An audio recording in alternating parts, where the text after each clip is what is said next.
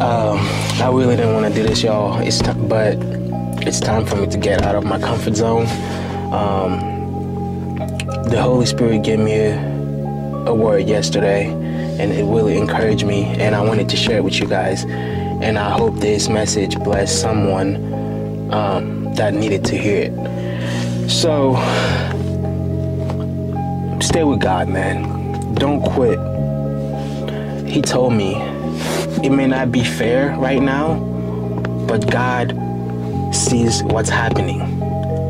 He has he has you in the palm of his hands.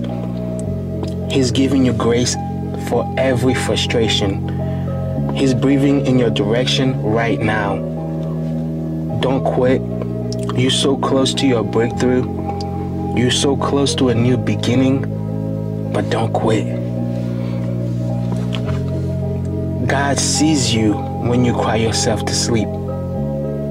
Boy, that's be, that's me. That's been me all week.